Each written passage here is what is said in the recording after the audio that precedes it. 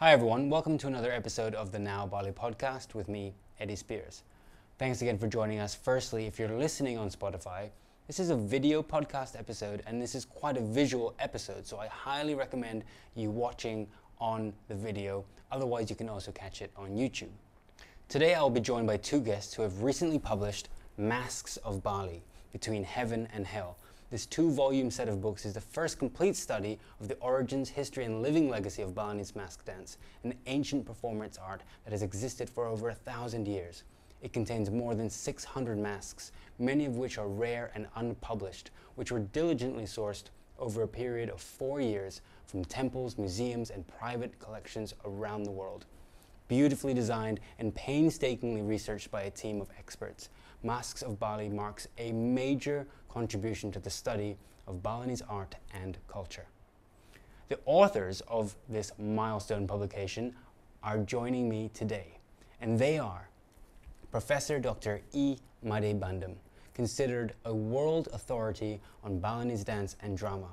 Born into an illustrious family of mask dancers in Singapadu, Bali, Bandem's dancing talents were recognized at an early age.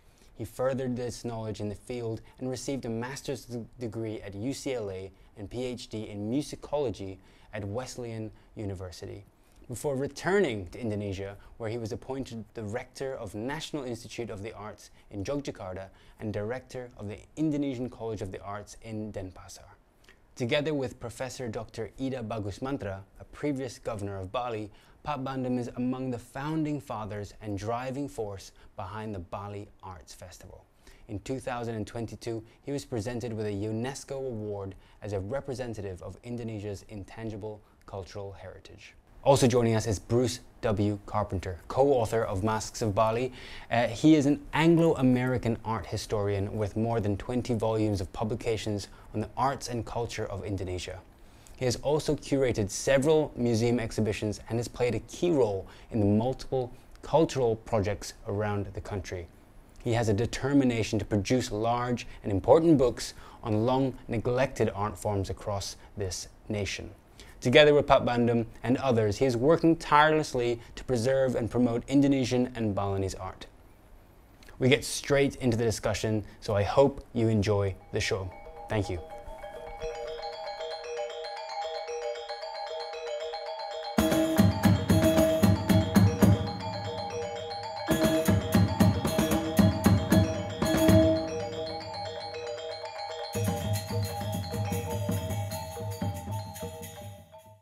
Firstly, a very warm welcome to both of you. Thank you so much for your time um, and, being here and joining us for the Now Bali podcast. And number two, a huge congratulations for the publishing of an epic, epic two volume collection, Masks of Bali Between Heaven and Hell. Probably one of the most pivotal moments in this field. Uh, and just to share some amazing facts about this new book, it took four years to complete, 600 masks were recorded, 1,000 different images, including masks never before photographed. And of course, in depth information from the both of you about the entire field of masks, the genres, individual types, mask makers, and dancers. So, very valuable to the preservation of art. Um, before we sort of get into the nitty gritty of what your uh, book includes, I'd like to go sort of wider before we get into Bali.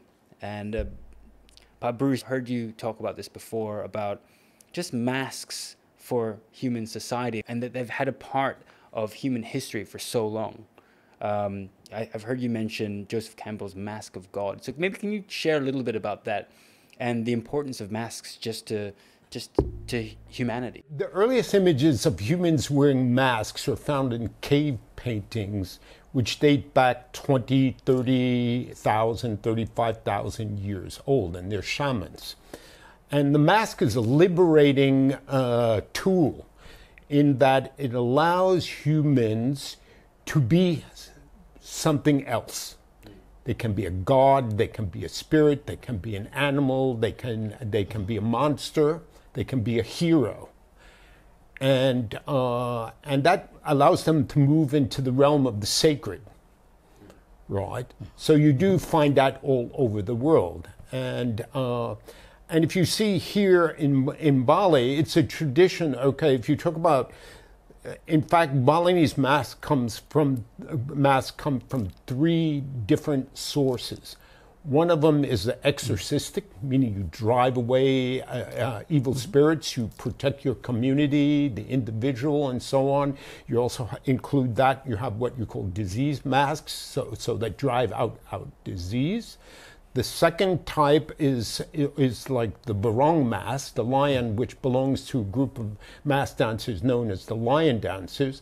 They're found wherever Vajrayana Buddhism was. This was an inc- incredible form of Buddhism that developed in northern India from the 7th to 11th century and then spread around the world to Japan, China, and Indonesia as, as, as, as well. And then the third type of the uh, are the history mass, the lakon mass, you know, that tell, uh, they recite the history, the origins and things like that. And the earliest uh, evidence we have of them being performed, both in Java and in Bali, are in old bronze uh, inscriptions which date back to, to, the, to the ninth century. Uh, you mentioned these exorcism masks, which uh, the, the second two, the storytelling and also the lion dances, they sound like sort of imports. But these exorcism masks and the fact that you know humanity has used masks throughout um, history were these were, were the exorcism exorcism masks imports, or was that something that indigenous populations here in Bali just just did? Well, a lot of things that, that you know anthropologists and historians talk about all the time. It's sort of a bit of a chicken and egg situation. Uh, you know, uh, there's the theory of diffusion that a certain kind of uh, uh, development somewhere became popular and spread around the world. The other ones is that it's indigenous in, in the development of societies and people. Uh, I think there's a combination of, uh, of both, and but if you talk about this, that the the people of uh, the people of Indonesia, which are, are either of the Papua type, or or the Austronesians, which who came much much later, is that they were animists and they were they were they believed in the spirit world and things like that. And we still see that in the various tribal and um, uh, and minority ethnic groups. For instance the Dayak people the people in Timor and so on that they continue continue on in that tradition, and we can draw some parallels between some of those traditions, like the Hudoq masks of the of the Kayanic people of, of, of Borneo, and the Rangda uh, Rangda masks. You know, also the jungle masks and things like that.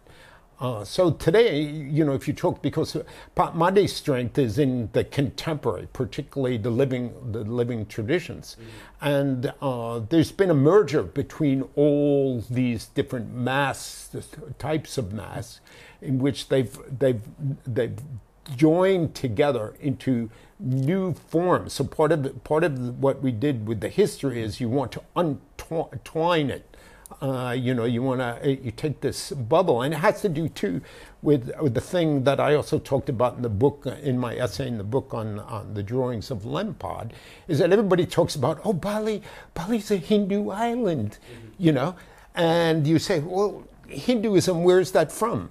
Mm-hmm. You know, where's it from? From India. From. India. Okay, and then nobody really explains you what that means well, how did it sort of get here? With a boat of Indians that came over from Calcutta, you know, and sort of said, "Oh, we're to, it's a nice island. We're going to make it." So, so it's it's sort of understanding how things moved at at, at which which time, and uh, you know. But again, you know, if we talk about Balinese uh, uh, dance traditions, though their influences from the outside there were certainly indigenous traditions that existed here. And like everywhere in the world, what really makes uh, uh, an art belong to the people is when they integrate it into their own society, make it relevant to them, and that sense it's something something new. Yeah. And in in this book, you, you've used all of your research and and you've identified nine different genres of of these masks that have essentially sort of uh, create the tapestry of masks of Bali. Um, uh, Pak Bandem, do you mind sharing a little bit about these nine genres? So you have three traditions exorcism, mask, line dance, and then the storytelling or historic. And then you have these nine genres of Balinese masks, uh, which are identified in the book. That's true. Uh, when we speak about genre in Balinese masks today, that we find today, still alive today, uh, we identify the genre through, of course, uh, iconography of the mask itself we have so many different masks in Bali. We try to make a classification through the iconography of the mask itself. When we speak about iconography, we speak about the laksana. Laksana is attribute of the mask itself because different mask has a different attribute uh, of the mask itself. I can show you later on a little bit about that. And the second, secondly, we speak about the aesthetic of the mask itself. So different mass, different genre will have also different aesthetic in this case. The proportional, the size of the mass, and uh, the teeth they have, like all of those aesthetic and the colors most important uh, when we speak about aesthetic in the mass itself. And then, of course, at, and later on, the third part of this uh, iconography, we speak about expression of mass. Mm. Yeah, yeah, expression of mass. we have different kinds. Bruce already speaking about, you know, Rangda mass, barong mass, it is a giant mass, and all creating trance and everything like that. expression is very important in the mass itself. Mm-hmm. And then after that one, uh, that's the iconography, very important. And the secondly, when this, the mass performing as a dance drama or dramatic, dramatic form, and they have story in it whether they're using the story of Ramayana, Mahabharata, or other leg, uh, legend in Bali, history, colonial uh, history in Bali, all have different uh, different masks. You can identify the genre through the story they use. And of course, when they perform, mask using costume, not only mask by itself, but also headdresses and also the costume or different costume, or giving you the different idea of the genre of the mask like that. And then of course, later on, when they uh, perform, they speak, you know, king speaking in old Javanese, old Javanese Kawi language, and then the Balinese uh, clown speaking about Balinese, vernacular Balinese. You can identify all the form like that, like that. So there are many different way of uh, describing the genre of mass in Bali in this case. Can I show you uh, one mass when we can speak about the iconography of this mass? We love that. Okay. So this mass is uh, Wayang Wong mass. This is uh, the dance drama known as Wayang Wong. This is a monkey, uh, uh monkey mask because this Wayang Wong's uh, mask taking the story from Ramayana, very famous epics from Indian epics, but also transformed into Indonesian Kakawin in this case. Okay, and this this is a hero, you know, hero messenger known as uh, Hanuman, right? powerful mask, mythological monkey in this case. Yeah, when we speak about iconography of the mask, and first we have to speak about the attribute of the mask. Okay, and this one uh, is called Skartaji. Many monkey masks, many barong masks usually have this Skartaji to separate uh, the mask and the costume in the back like this. But in this Skartaji, they have a different design already here you see a design of the uh, design of tumbuh-tumbuhan, uh, design of the uh, what do you call this? Uh, uh, um, uh, a design of the burung, for example. This is a wing, looking up the wing over here. Right. Yeah. Uh-uh. Yeah. Or yeah. different. Uh, it's a, it's a, of life things, you know, growth in the garden. And, yeah, and, that's and, the, uh, the fl- yeah, symbolic. Efflorate. Yeah, tumbuh-tumbuhan. Yeah. Or how do you say tumbuh-tumbuhan in English? That is. Uh, Tumbuhan growth. Uh, yeah, something you know. the growth. Yeah, yeah, yeah. that's right. Yeah. Okay, and then after this one, you see this mask uh, using the urna here. The urna is different than the other mask. Sometimes only one urna here, and with, but this one is taken from the jet kakul, keong. Keong is a snail kind of thing, and then for here they have the tanduk of the uh, tanduk of the uh, kakul in this case. Yeah, it's a sort of third eye that Uh, shows eyes. spiritual uh, spiritual power. And that's taken s- the, the, the imagery of a snail. Is that this one, Yeah. the, the design look like It's the more. snail. It's not that they're saying that it's a snail. What they're saying is that it looks a, like, a like snail, so they call it a taken snail. from there, yeah. Uh, and then, of course, here uh, as a monkey mask, they have a ear here, but they have also the rumbing. Rumbing is earring, you know. So you can imagine in this, you know, monkey has a ornate or ornament using the uh, rumbing as a mythological animals in this case, and not like the monkey that you see in the garden and you see in the the uh, mountains. So but this is more like a mythological character in this case. Of course, this is uh, very important here. The teeth, yeah, the teeth uh, of mass uh, of the monkey here will be different than the giant, for example. Monkey always have four fang, yeah, four fang. But sometimes giant they have only two fang like this. Yeah, you can di- discern, you can uh, identify, and you can you know about this two different characters through the fang itself. So this this uh, uh, what do you call this teeth? They're showing only six six teeth, yeah, six teeth. Uh, one, two, three, four, five, six. There's a symbol also in Balinese life. It's called Sadripu, enemy in yours by in yourself. You have enemy, real enemy in yourself, just like uh, greedy, for example, kama, loba, greedy, and then uh, anger, anger. You know, all of this enemy. Ragu, ragu. does mean uh, dubious in life. yeah, Yeah, ragu, ragu. So if you can win against this six sadripu, this is the real good life for you. But it has also symbol like that in this kind of uh, mass that you have. So through uh, iconography of different mass, and then you know the genre of this mass. H- How common is it, Pak Bandem, for masks? I mean, that's a very ornate mask of Hanuman. But how common is it for all the masks to have that level of symbolism in their appearance? Yeah, of course, you know, like this mask it's a king mask, different than the monkey mask. This is more humanized, like a god, humanized god, and then uh, Prangsan as a king. In this case, you see the different uh, eyes form. That's one of bulging eyes, and this is more uh, like uh, you know smaller eyes, almond shaped eyes like this. But still, the the teeth also look uh, same kind of idea of sadripu over here in this case. But the urna here only one, and the, the third eyes just look like a Siva eye, the third eyes of Siva.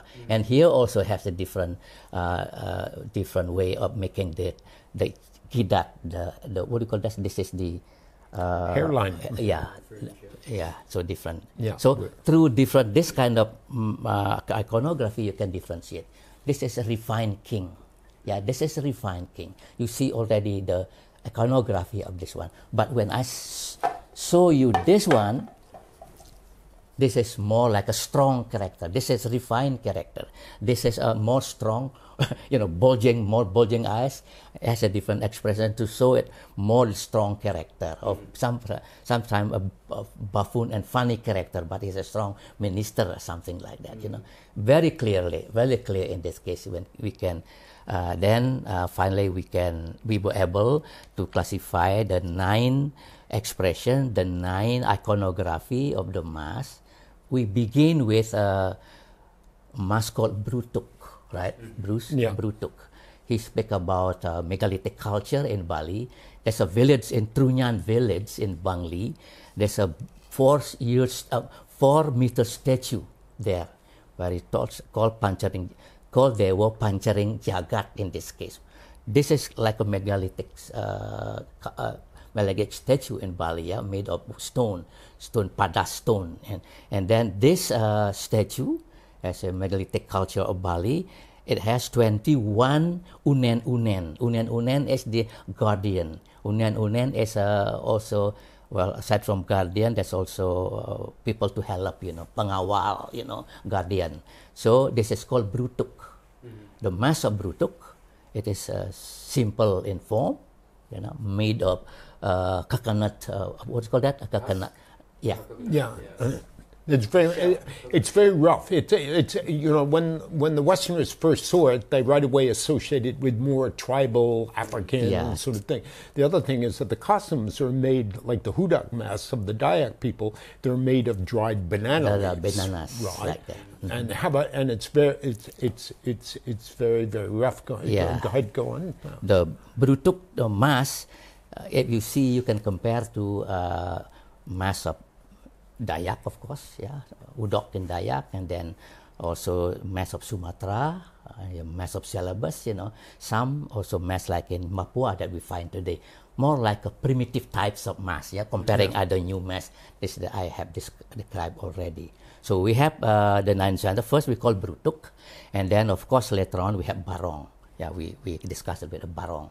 There's so many barong in Bali. Barong cat, barong, uh, yeah, barong cat, barong kijang, bar elephant barong, and so on. So many types of them. You can see always when if, when there's a galungan time, they, they perform on the street and they perform in the villages. You know, all different barong they have.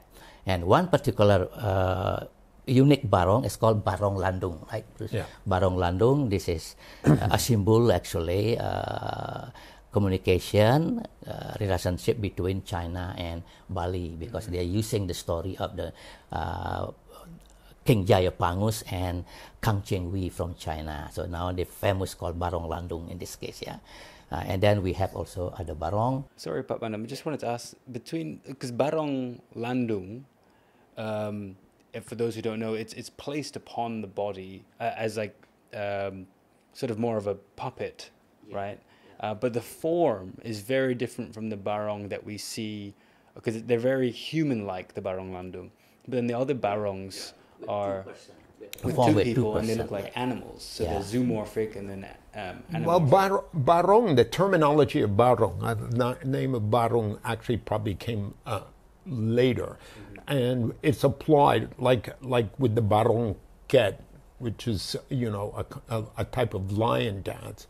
It's applied to especially to sacred mass because the barong landung is also sacred, Sacred mass. mass, yeah, yeah. Right. In fact, mm. it also harkens back to to the the more tribal societies, and it has to do with because a lot of the dances in tribal societies and and small ethnic groups have to do with harvest festivals, mm. right? And they're mm. also uh, so it's the and also some of them after the harvest that's when head hunting and things are are are are done, and the and it has to do with fertility because the Barong Landung, what they after the end of of the of the Galungan Kuningan festival, they come out. They used to you used to see them many many different places. Become less common now nowadays, and they would they were would walk around sometimes with their their children and with uh, with other accompanying them, and they'd stop every once in a while. They have a, gamelan that accompany them, and then they they sing poetry. But the poetry is a bit like limericks, and they're all naughty. They all have uh, sexual undertones and and things like that. And then after they finish a couplet, you know, there's a, it's it's like six lines or so.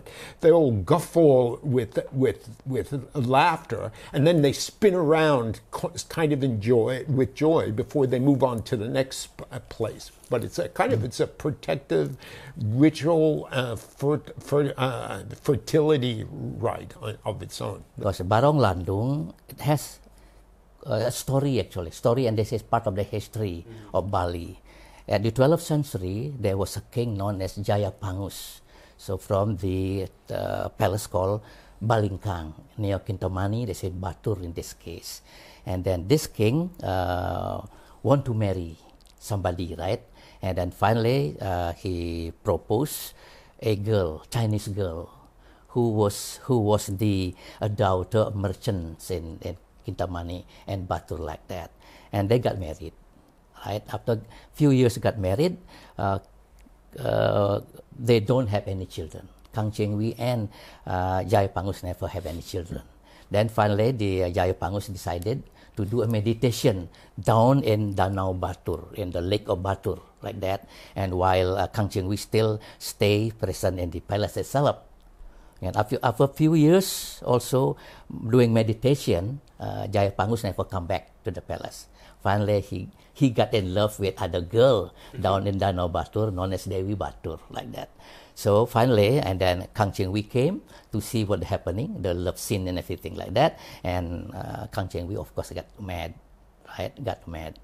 And then finally, the mother of Dewi Batur, yeah, the mother of Dewi Batur came down knowing uh, that uh, she was the goddess of the lake. Yeah, uh, goddess of the lake, and then uh, uh, the the king uh, Jayapangus already got married, but he never told yeah the, the girl that he got married. Finally, that that my the gods of uh, Devi Batur, the gods of uh, the mother of Devi Batur, got so mad and punished them, and they the pralina them. Uh, pralina meaning this can they burned them, mm.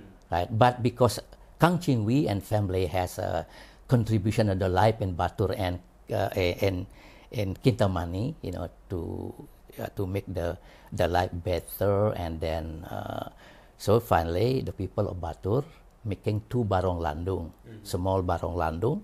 One is uh, symbols of the uh, king of Jayapangus, and the other is Kang Ching Wei. So there's a merge, uh, you know, uh, connection, relationship between Balinese and Chinese people in creating the fertility and creating of the the kekayaan ya all of the Balinese Prosperity. yeah, yeah. Uh, fertility yeah. and also uh, of the Balinese people so therefore they make them later on become bar, barong landung yeah the two uh, uh, giant puppets actually in this case so their story has been sort of immortalized um, and then symbolized uh, through these puppets. And, the, and giant puppets connected with fertility are found throughout in, the, in, in, in, in Indonesia. They're found in Sumatra, they're found in Java.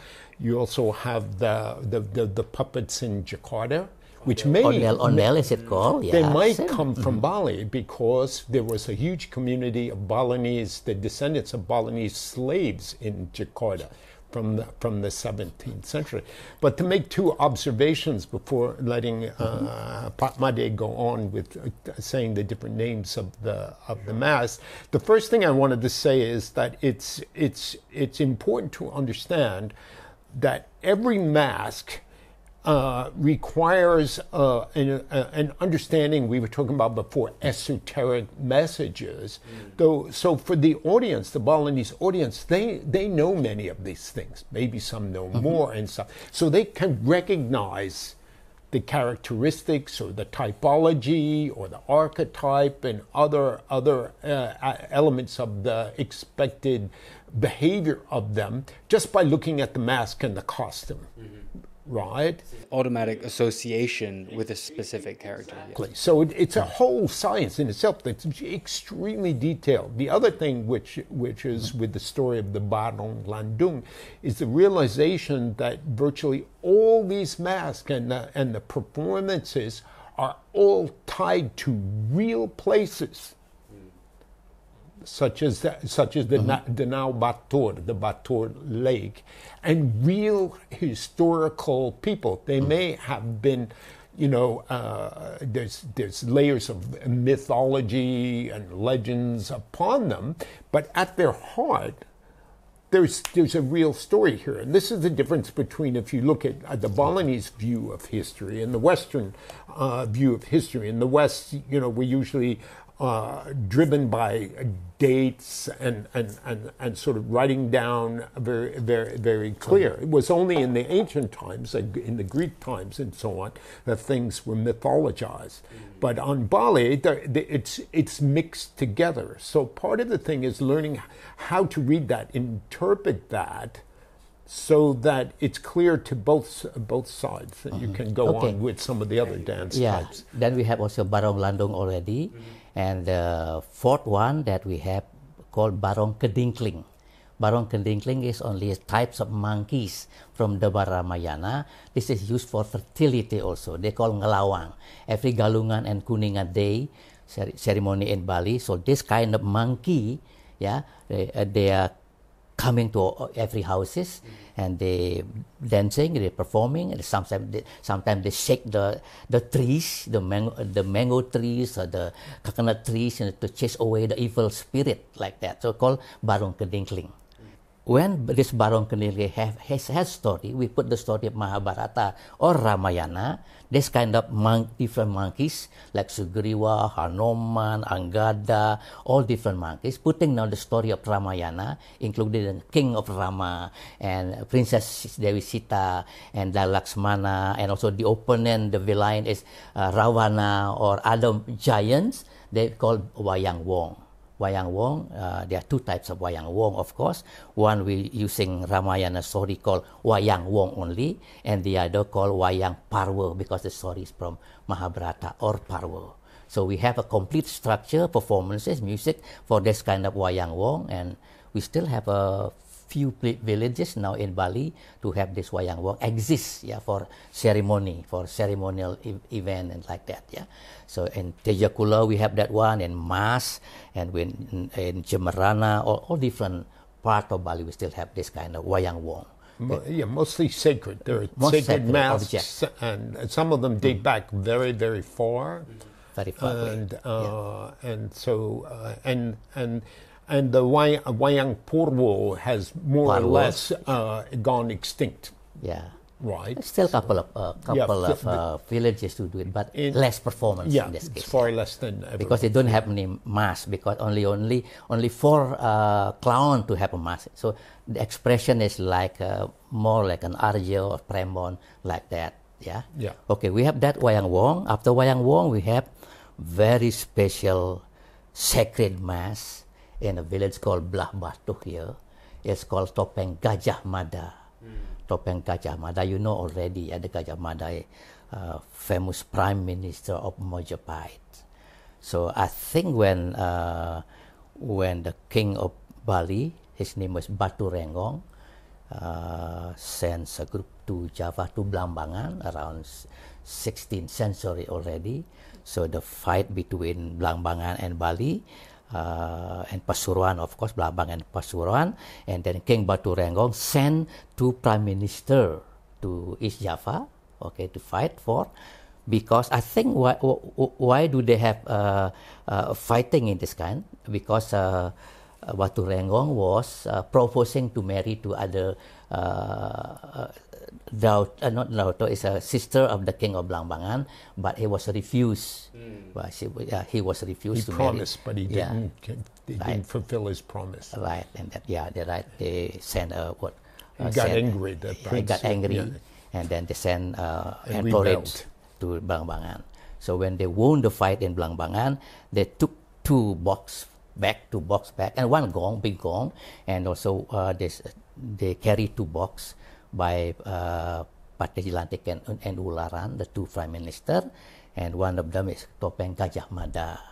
So that's a sacred uh, object uh, put uh, for a long time in uh, Gel Gel Klungkung, in the the palace of Batu Renggong and his uh, uh, generation later. And finally, sometime around 18th century, nearly uh, 19th, 19th century, they took the mass into Blah Batu. It put that in temple Penataran Topeng, and then now uh, placed in the uh, palace of Blah Batu. This is the most sacred Topeng and the most difficult difficult time for yeah. us to get to be pictured.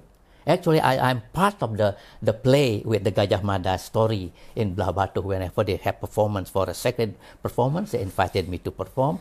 But when we request for the books and to get a picture of this Gajah Mada, they always refuse to do it. because you know there's taboos. you know, taboos, You, you know, and that's another thing with the sacred because a lot of masks are sacred, and even to take them out, Out, yeah.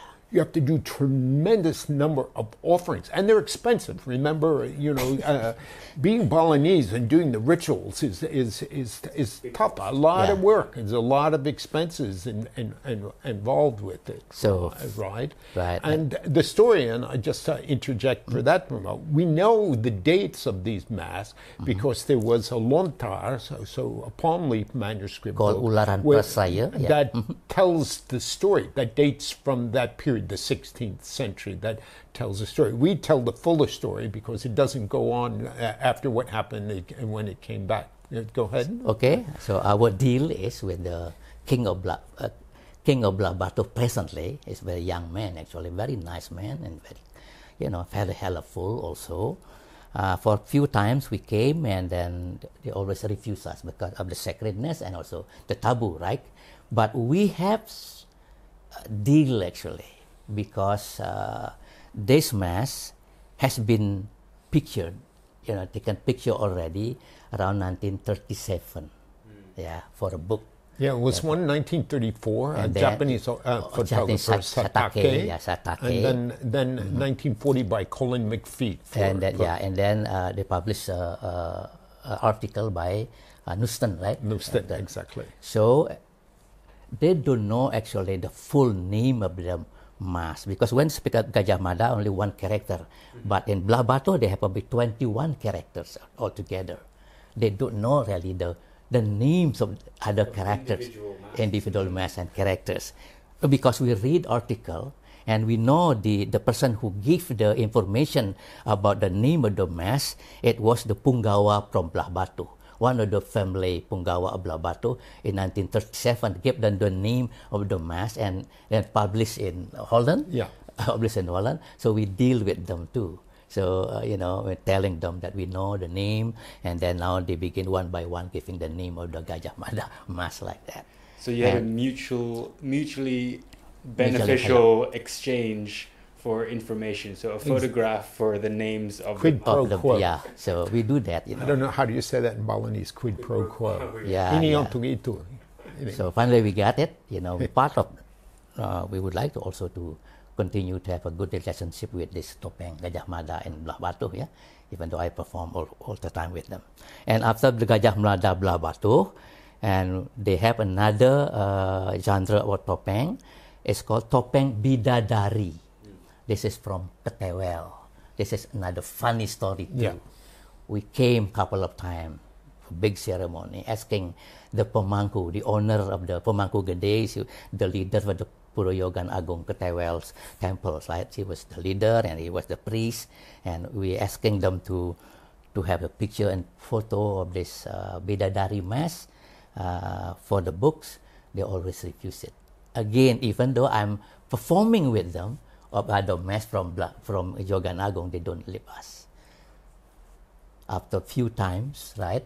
There's a big story. They have big ceremony in Ketewel known as uh, Pancha Walikrama. This this ceremony will uh, happening only in 45 years. 45 year ceremony once, right? And for this first Pancha, Pancha Walikrama uh, ceremony they have in Ketewel, they want to have everything new the building new, the barong has to be repainted, right? Or the pratima also has to be repainted again. And, Temple statues, Pratima. and then finally they also wanted to uh, repainting the mass. This is old mass, as old as Gajah Mada mass. Mass also Yeah. is called Bidadari, you know, like that. And we were lucky. Even though I and Pak Bruce and also Cokordo Oke Artana, the Vice Governor of Bali, came to the, the, the people at uh, Ketewel before they pa- repaint the mass. We don't want them to repaint the mass because this is original, asli, you know, old mass, you know. So treasure, why we have to repaint it for a new color? But they refused my advice. Finally, the day before they repaint this mass, they call us. Yeah, it's like in the middle of the night, you get a phone call. Green light. Green light. Now or never, essentially. Now Yeah. or never. Come yeah, tomorrow or because the next chance will be in 45 Five years. years.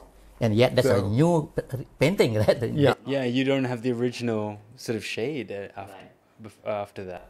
And then amazing of the up uh, on the that same day, a priest already uh, performing the offering because they have to to pralina, to what do you call to kill, to to move the souls of the mass into of, an offering, right? After that one we So do sacred, sacred things also. Mm-hmm. When you talk about taksu, the the Balinese word for sacred, Taksu, yeah. sacred energy, it's both good and bad, and that and so they're dangerous, magically dangerous. So that you need to kill it yeah first, and then you you re-sanctify and you re-empower it uh, later. So, uh, they move the soul into the offerings like that, right?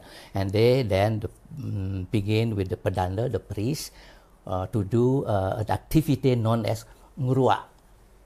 You know, how, how do you call that? Scrape. Scraping, that, yeah, scraping, right? But we wanted them to scrape a little bit by bit, yeah. Yeah. Just only symbol, not not the whole mass, right? And that after that one, oh, on this doing this uh, scraping the mass, we need three. Uh, what do you call that? What three three? Not three generation, three castes, right? The three castes. One supposed to be Brahmana to do first, the priest to do first, and then the second must be like a king family, right? So, And then the third one, uh, Jabber. Jabber mean outsider, you know. The, the, the, the non-royal the non-royal family. The non-royal family. So in in Ketewel, they already have they already have the pemangku, the priest, but the pemangku itself still requesting a professor to be part of it. Doesn't mean that Made Bandem was given a chance Yeah, to make do sure they have the academic credentials academic as well. like that. We were so lucky, right? Yeah. So finally, we have the yeah. original and uh, you know um, uh, mass of that one. If you didn't have this opportunity, what would you have done? Would you just left it out of the book, essentially? Well, you were still you were still allowed to make photos of the of, the, of performance dancing The ma- performance, when they the- the perform. masks, right? Yeah. But part of it is is that you know we've we've included a fair number of them.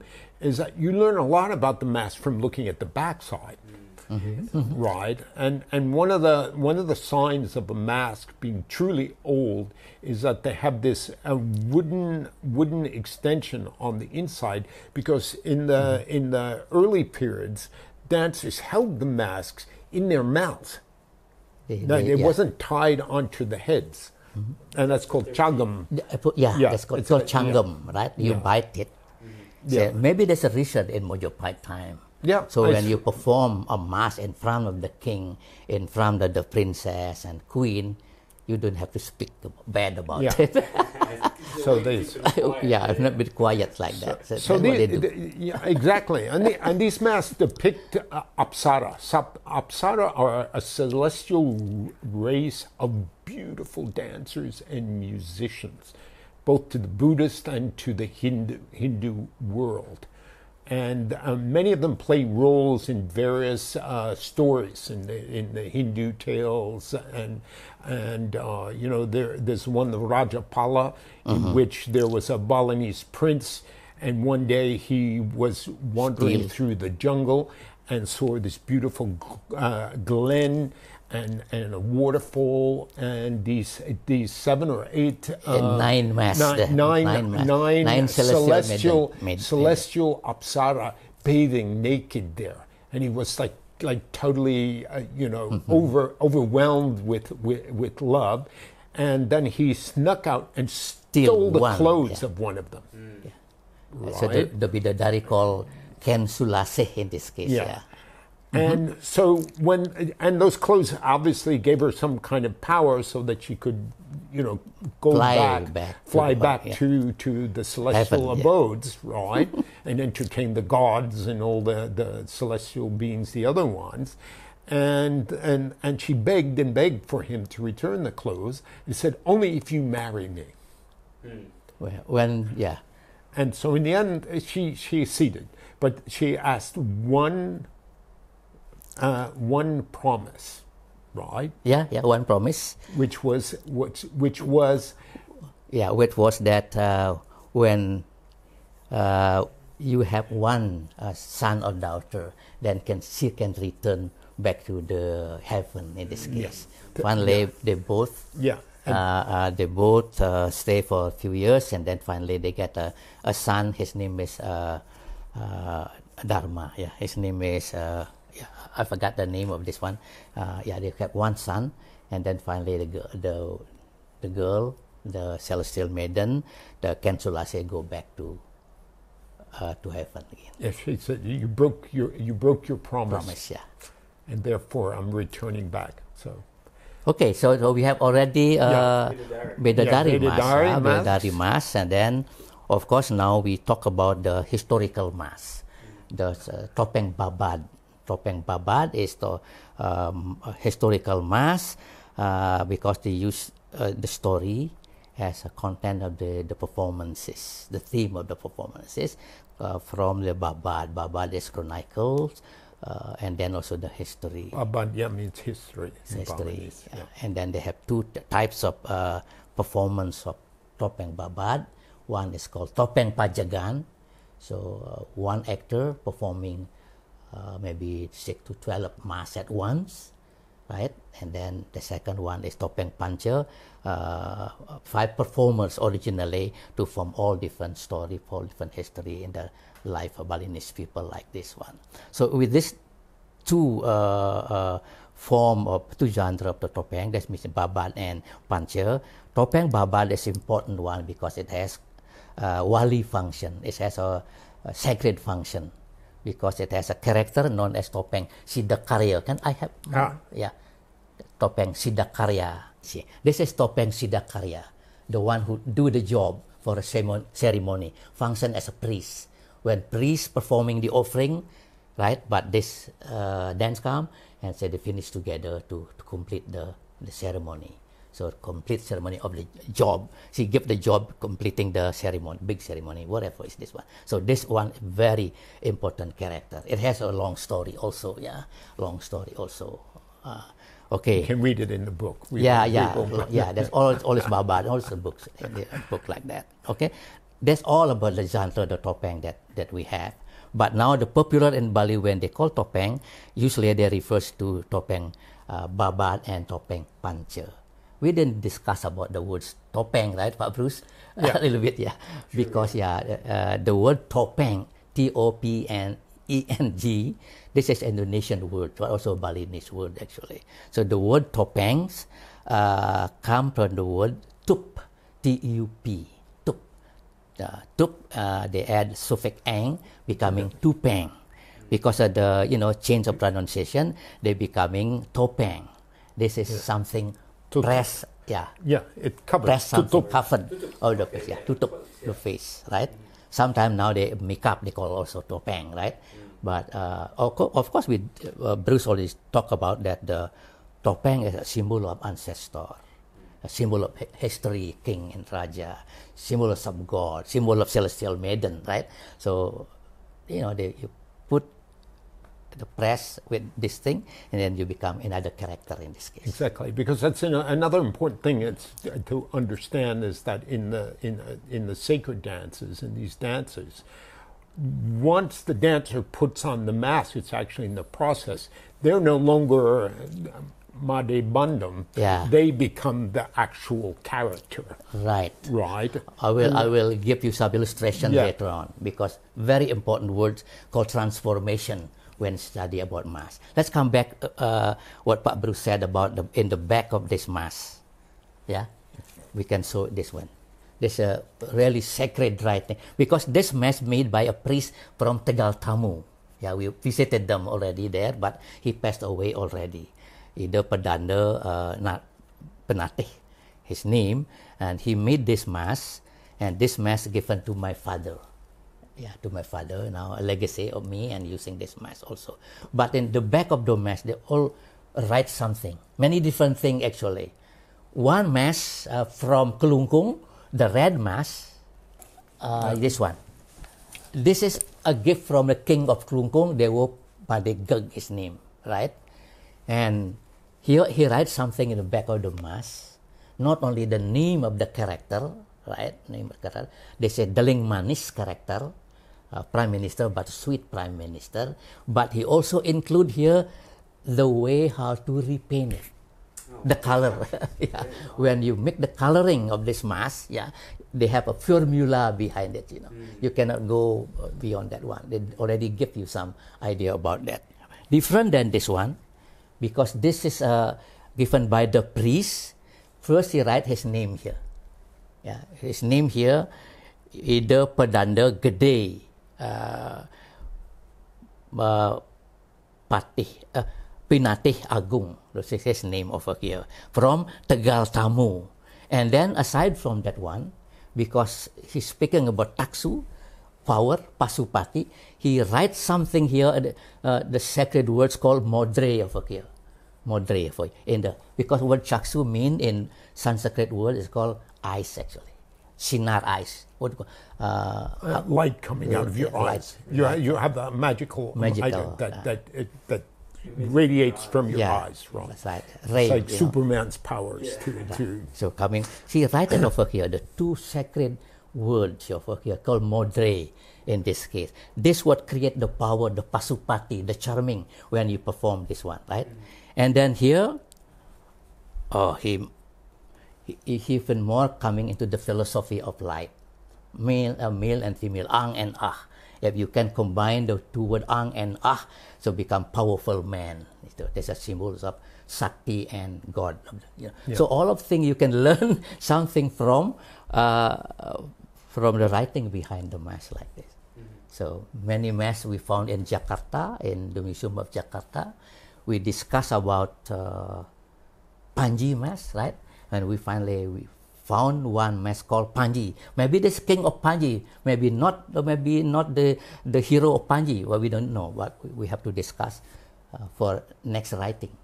Because uh, another thing is uh, what what what what has happened in in the 20th century, and this is not just in mass dances, but has to do with with with uh, with depictions, is that the the extraordinary breadth, almost uh, stunning. Like uh, for instance, there's a, there's a story of Ranggalawe, which is of Shakespearean dimensions and, and, and, and a tragedy, you know, having to Yeah. do with betrayal and redemption and other things like that. That many of these stories, because they're complex and they're difficult, uh, are are not really being uh, not being played anymore, and they're not they're not being illustrated anymore, and there's a kind of reduction that's going on, particularly to the Ramayana, and the Rayama, Ramayana, and that has to do with Western influence. They say, oh, it's a love story.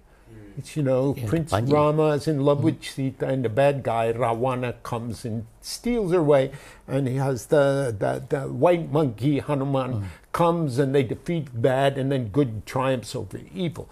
The actual story, which is is it's like over nine hundred pages long, with mm-hmm. hundreds of side stories, is quite a bit more complex. And it's not really a love story, it's a story about the necessity, the demand that everybody live according to their dharma. The dharma being, being, being what would be said that your innate right uh, quality and not being something something else discovering what that is and becoming becoming that. And that's true of a lot of uh, a lot of these things. And as for the whole idea of good versus bad in Hindu in Buddhist society particularly that's why the offerings are given given to the to the raksasa the demons and things like that. It's not it's not like in the Christian story that in the end, uh, you know, uh, God comes down and drives away all the bad people, and then we all float around in diaphanous robes, singing singing, singing hymn, hymns to the end of of all time, and so on. It's about achieving a balance. They recognize. Uh, the good and the bad of being the two sides of the same reality and without them, I had a high priest in, in Dawan one time, and he said to me, Well, if you don't have black, how do you know what white is? So this the, Right? You like know. the Rubinator. Yeah, Coming back so- to speaking about Dharma, when you're learning also Topeng, there's a books called Dharma Petopengan. There's a guideline how to learn Topeng, spiritually and also technically. Actually, it's called Dharma Petopengan. When you learn Balinese classical dance known as Gambuh, there's also uh, Dharma Pegambuhan, a guideline about how to, to study about classical dancing, spiritually and also technically. Also learning music in Bali, they already written about the Dharma uh, music. It's called Aji Gurnito or Prakampo. All technical aspect and spiritual aspect are written, but in, you know in a simple manner, in a simple way, not descriptive, not analysis, but very simple way of writing about Dharma Petopengan when I learned topeng from my father, I was about probably 16 years old, already in high school during that time. Uh, first, before you touch topeng, or before you learn uh, to do Balinese dancing, a good Balinese dancing, a good Balinese topeng, he said to me, you have to be a good person first. A good person. Make yourself a good person. That means you have to give, have a good behavior. Yeah, when you want to perform dance or you perform dancing, better to make your your, your yourself as a good person first. So uh, when he speak about good person, uh, in Bali there's a concept like speak about uh, good and evil. Now it's concept of three kaya parisuddha, three things going uh, have to learn before you're learning the dancing. First, it's called uh, uh, three kaya parisuddha, manachika. Yeah, manachika, think well. Yeah, think well, think deeply, learn the ritual, learn of the spiritual aspect of the mass. Okay, that's called manachika. You have a real um, uh, pemikiran ya, pemikiran yang bagus. And then secondly, wachika. They say talk well, respect people, you know, talk well, respect people, you know, helping people, tolerance and everything, right? And the third one is called uh, kayika. And then you act well. So when you become a good person and you understanding about the, the philosophy and concept of this Dharma Pertopengan, then you begin to learn. Nah, before even starting the movement, the vocabulary movement in the in the topeng dance drama, because they always have a uh, vocabulary movement in every dancing in Bali, like standing position, and then walking style, and then the transition movement, then expression, transformation, and and, and others. Uh, my father asked me, uh, "Hmm, you have to sleep with your mask." yeah, you have to sleep with your mass. You know, because learning mass, mass sometimes already have the power of taksu or pasupati. Because when they make a mass for dancing, mass for for God, something like that, and they already have a, a ritual procession, ritual uh, steps to do it. Starting from the uh, cutting the tree, they have offering already, and they're starting to carve the mass, they have some offering you know all of those process go through of the mass and when the mass finish they have also given the taksu or pasupati. They even go to the temple to get the power, you know, spirit to get into the mass. So the mass become powerful in this case. Because of that, you know, uh, when you learn topeng pajagan or topeng panca in this case, all different characters, and when he said sleep with the mass, that means you married with the mass married yeah, with the it's a sacred bond. Yeah. And pa- Pashupati is the lord of the jungle. It's the Yeah. incarnation of Shiva. Shiva, who, in of this course, case. is also Nataraja, the, the, the, the lord of dance. Yeah. The god of dance called Shiva Nataraja in Bali, or even in India too, Yeah. like that. Yeah. Yeah. Sometimes in Bali they call also Vishnu Murti because it's same as uh, Nataraja Yeah. in this case. Okay, learning about mass, uh, uh, marriage with the mass. First, uh, when you study this mass, this is called Shiva Nataraja, like, I mean, I mean uh, Siddhakarya in this case, you have to study the the bawa, the expression of the mass. You have to be able to follow, to imitate. Yeah. Before you put this in your face, you have to able to do to be able to do expression like this. First thing, he asked me to how open your open your uh, teeth, mouth, and do this thing. Yeah really get that into you know deeply because when you put this uh, the mass in yourself you have to do expression like this to, It becomes to one. project The, the, the human face and the Yeah, mask the become mask. one. like, like that. So this is what we learn. Same with this mass for example. Even though there's bulging eyes a little bit big but you have to smile. When you put this in your face you have to do this. So you're really feeling the expression that the mask is giving through the performance, right? And you can feel it inside as well. transformation of the uh, the the soul of the mass into yourself like that. So this is what. Can I have one? Okay, let's see. Uh, that is not enough, you know. When I say expression from, and this go with the movement also. So in the Balinese dance, topeng, you always have a standing position. I'm sitting now, but this is like a standing position, right? So sorry, let me move this. so the Balinese dance, no matter what uh, style, uh, for male uh, male uh, character, they always stand or sit with this knees turned out. Knees always turned out. Something that we found in Borobudur temple Yeah. or in Prambanan temple in Indian dancing like that. They always knees turned out, diagonal like that. And from here, there's a concept in Balinese performance known as ngunda bayu. Ngunda bayu is this distribution of energy into different part of your body when you dance. Sometimes in your hand, very strong like this, or sometimes only simple this way, depends on the character. Sometimes here may be heavy movement, or sometimes in your foot, like that. So called ngunda bayu, yeah, ngunda bayu, distribution of energy into all part of your body. Okay. In this case, uh, agam, before I use the mask, agam normally for male dancer to put hand this way, yeah, to put the hand this way. This is a bit higher, yeah, staring with your eyes, and this is a lower here, little bit. But the main thing when you dance, because the energy is coming from here, right? Yeah. Energy coming from here, like from here, uh, the center of The the center energy. chakra. Yeah, chakra is It's here. all actually. with the chakra. You have play with this one. You know, you play with this one. Where do you want to bring uh, the the, in the energy, right?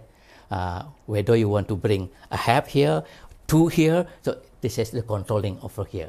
Okay, but this is normally the standing position of male dancing based on gambuh, the old classical dance they use for topeng later on, except probably later on they uh, stylize with the mask they use. But this is the, I- the the standing position with strong character. Without mask, you have to open your eyes big like this. My father, before even telling me how to stand and walk, and he asked me to flick my eyes. Flicking in Balinese dancing is very important. Even though you use mask, you flick also. Yeah, this is the way you flick. One, two, three, and four, six, seven, and eight. Toward higher hand. Here too, if you have this hand, the flick is here. Two, three, four, five, six, seven, and eight, and one, and two. So that's a flicking for strong character. So after that one, he asked me how to uh, glance my eyes. This glancing is very important for expression of mad, for example.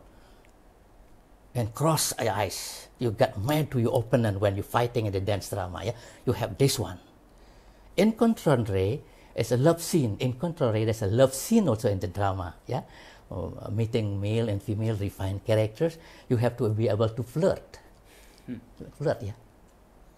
Flirt the eyes like this, and usually you have to put uh, jerking eyes, jerking head movement, like this.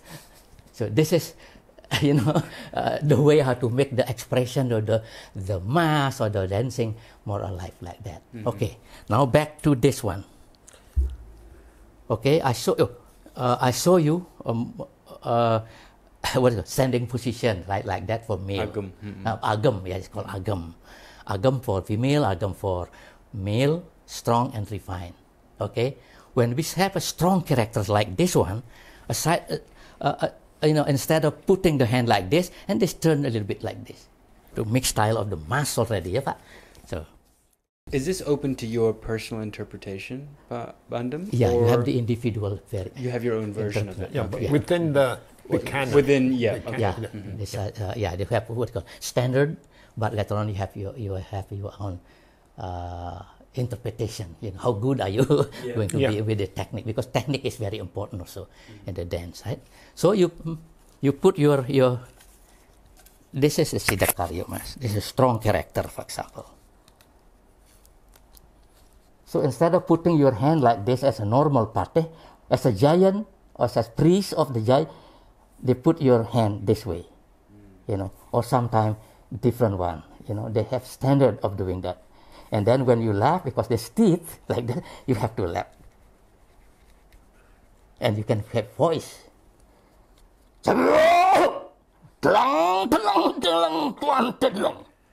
dalam sinakari medor manjing ring tengah.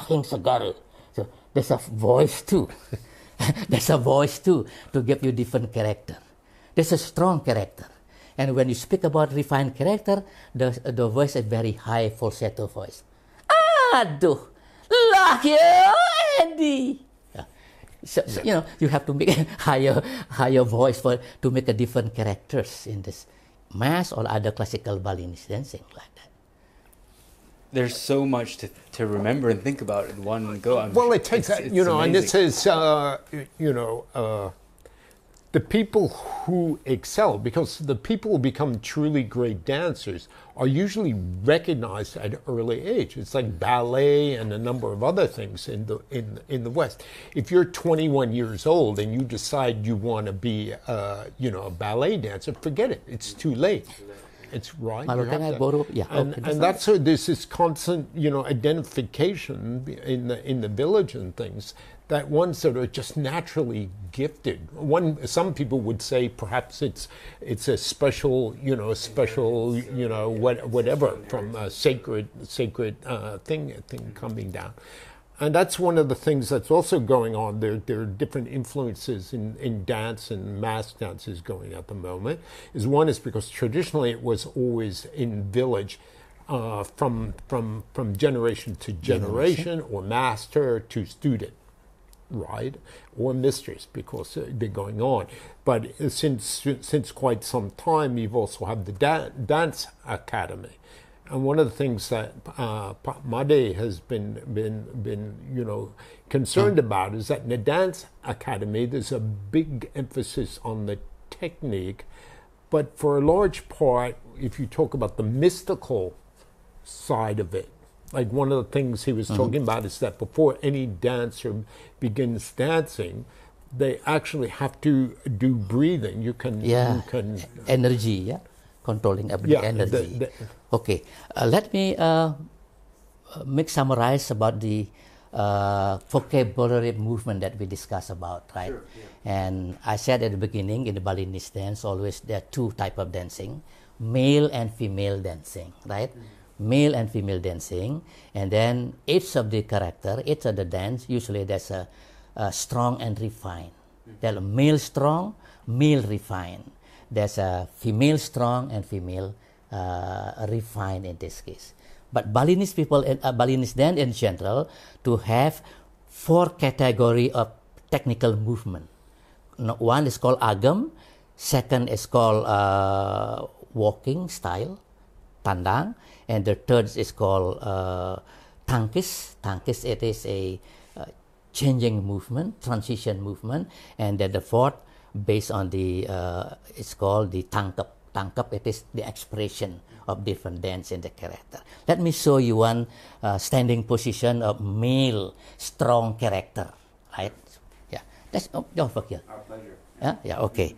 Uh, when we the standing can be high, this high like this, can be low, right, like that, or can be sometime in the middle depending on what kind of uh, movement are you doing. But mostly this way.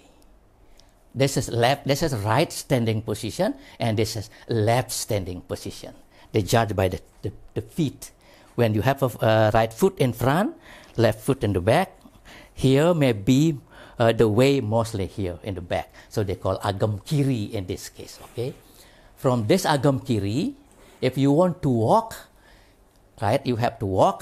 Uh, the walk can be counted 1, 2, 3, 4, 5, 6, 7, 8 because uh, music and dance in Balinese topeng and Balinese uh, uh, baris dancing or gambuh always uh, very important counting in this case.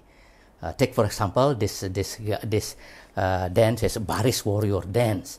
That's a there's a music one two three four five six seven ir nang dong neng tong nang neng dong sir neng no neng tong nang neng dong sir. This is the melodic line melody that you follow. The dancer must understand the melody. Take for example in the topeng.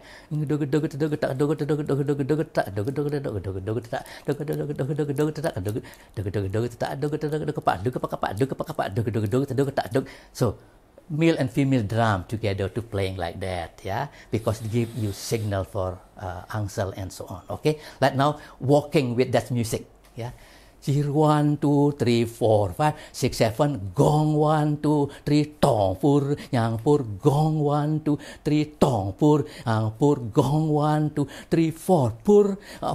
Gong, one, two, three, pong, pur, uh, pur. Gong, one, two, three, pong, pur, uh, pur. Gong, one, two, three, four, five, six, seven. Gong, one, two, three, four, five, six, seven. Gong. So, music and the movement usually is very related. So the different instruments are actually instructing you on different movements and the different timing of certain uh, movements of the dance, essentially. Okay. Mm-hmm. When you have the drum, if you want to do a angsel, for example, he give the signal to other musician, but he have to catch up my movement. But don't talk to don't but the like that. Who follows who? Uh, in this case, the musician follow the dancer. Ah. So there's another dancing like legong, for example. Uh, they already set the music. The dancer follow, right? Yeah. But in this topeng dancing, and the warrior dance, more freely movement, and the barong, usually uh, the musician uh, followed the dancers. Yeah, but since the 19th century. Already. Yeah. yeah. Before that, it was the opposite way around. Uh, so like Legong, for example, they will have set yeah. the music and we join.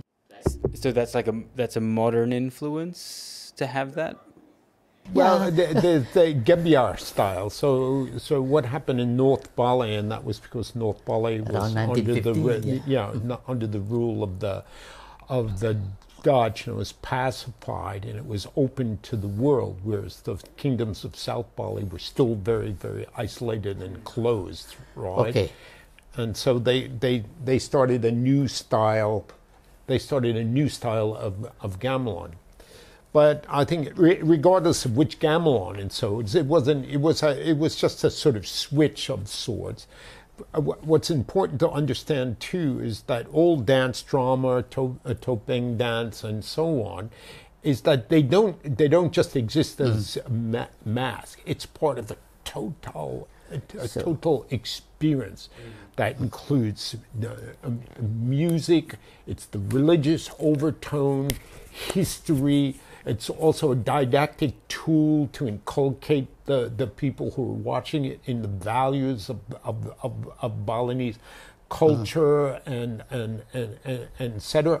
And it's got it's got sound, it's got smell, there's movement. It's it's it's it's it's uh-huh. it's a truly uh, total theatrical, uh-huh. but uh-huh. also in on on a, a, level that you can compare to the to ancient Greek oracle uh, theaters and things like that. Because sometimes we we we we only look at things one part of a time and poetry too because most of the oldie stories they're they're spoken in poetry ancient poetry. That's one of the clowns that yeah, was talking Kakawin about or the, Kidung it's called yeah. the clowns are the ones because the princes and all the high high figures they speak in this courtly language which evolved in in 14th 15th century uh, Java in the court of the Maj- Majapahit and the, you, the clowns are the local guys who speak in the vernacular so that the Balinese understand. But very few people, only learned people, ever learn the Kawi, which is which is yeah. uh, the, high the, the, language, high yeah. lang- the high language. Okay, speaking about gamelan again, uh, in Bali we have more than 30 different ensemble of gamelan. So the one that I talk about that Pak Bruce said is called gamelan gong. Now it's called gamelan gong kebyar. For topeng, usually accompanied by this gamelan gong kebyar or gong gede is it called. But within any gamelan in Bali, yeah, we speak about music and then in this case, yeah, before we go into a bit about the topeng, uh, gamelan in, in, Bali, no matter of kind of gamelan, they always have melody, a short melody or long melody, depending on the genre. Like legong melody is very long kind of legong melody a gambuh melody with flute playing flute, very uh, long kind of melody. But this one, uh, for baris and for topeng, usually ostinato. The melody is called ostinato. Yeah, and the Balinese music in this case is, uh, is it's called heterophonic. What, sorry, what is ostinato? ostinato, uh, short melody. Okay. Four uh, the cycle counting- of the melody. cycle of the So, melody. so you Yeah. just say, uh, you know, you just say Right, that, you right. know, dun dun dun dun dun. That's it. Dun dun dun dun dun. Yeah. It repeats. Um, So, you know, the, uh, and the ostinato, and then of course uh, with the gamelan or, or has the rhythm as staccato, right? Staccato is very emphasizing on this one, like that. Okay, we have melody. So one one instrument play melody usually called gender or suling or trompong, whatever the gamelan is it. But one melody, let the same melody will played by the other groups of instrument because in our gamelan in Bali we have instrument called uh, gangse. It play the melody. Tong dang tong dang tong tang dang tong gong dang tong dang tong tang dang tong gong. We have colotomic structure. Like I said already, kempur, gong, and kajar. Tung tung tung tung tung tung tung tung tung tung tung tung pur pur gong, all repeated like that. Yeah, but other uh, other instrument play interlocking figuration. The Balinese gamelan, the one of the soul of the Balinese gamelan, male and female. Male and female in every instrument actually, right? But then they play interlocking figuration. That means uh, hocket type, yeah, hocket type. Take for example, tan tarin tari rante rante tarin tante rante rante rante rante tarin tari rante rante tarin lante lante lante la. The other instrument, uh, the the male type, ten ten tolen ton telon telon tolelon telon telon telon ten ten tolen ton telon ten. When you put this together, we come one melody, but it is interlocking figuration like that. It's it's a ta- uh, you know a, a layered tapestry of many many different different signs, uh, s- uh, and it's interesting sounds it's having is is that uh, in Java and in Bali the gamelan orchestras, which can be you know up the the gong gongede could be up to like 60 eight- people playing, yeah. 60, People. 60 instruments, Si- right? In Java, playing. some of them perhaps even more. In the Majapahit, maybe a hundred. Is that they're one of the few places on earth where you have true orchestras, like in That's Europe, right. the European sy- symphony or orchestras. Yes, most yes. other Okay. places in the world, they were just small, uh, small Sorry, groups, sorry. maybe five or ten people, uh, uh, and and not as as structured. So. uh, That's that's you know the creation of a of a great because that's the other thing. One of the themes in the book that we're talking about is that these traditions are not folkloric. Classical. They're, they're, they're, they come from the ferment of great civilizations uh, that existed for over a thousand years that that g- go back to Central Java and and even even before, and layer upon layer, the Balinese uh, form, uh, as well as the Javanese mass dance, they they owe their greatest debt to the the court of the Majapahit. You know, you talk uh, you talk about the, you know, the reports. The few a few people actually visited the court and so on. And dance, drama, music was was was was an integral part uh-huh. of the court courtly life, and it was also mirrored just in Bali. It was mirrored in the in the village as well. Whereas the, the gamelans in the villages now in Bali may not be as grandiose as those that you would formerly mm-hmm. see in places like Pura Payogan Ag- A- Agong yeah. or in the in the palace of, of Dempa, Denpasar. They are they are still you know part of the fiber of the local local society that the local mm. people were very proud of. Coming back to topeng, actually, you know, the word topeng already found in the Balinese inscription epigraphy. as one uh, uh, one uh, inscription known as Bebetin inscription. So they found the words Atapukan or Atapuka, meaning mass, actually in this case. So when we speak about eight, uh, 896 century year, that's- 896. 890, yeah, 896. There was the reign of the king Kesari Warmadewa already in Bali. But we don't know exactly uh, what form of the topeng, but already mentioned this one. And then later on, when we speak about the this topeng panca, topeng pajagan with story, we come back into the uh, history of Bali, Dalem Batu Renggong. Correct? That's 15 and 6, 17, uh, 16 and 16th century That's, that's what they call what a great uh, a great culture in Bali. Right? Great culture, folk culture. We still, but even though in the villages, people performing in the same kind of Exactly. Yeah, ex, yeah, Because great great art requires great patronage. yeah. King, Right. example, small king. You know, you don't. You know, the Florence wasn't wasn't wasn't built because there were a bunch of local farmers, Italian farmers, who who had a windfall profit. It was built because of this this uh, incredible society Yeah. and and structure hierarchy. Uh, that patronized and awarded, uh, the, you know, the great the great artists of the the Renaissance. Okay, coming back a little bit with this one.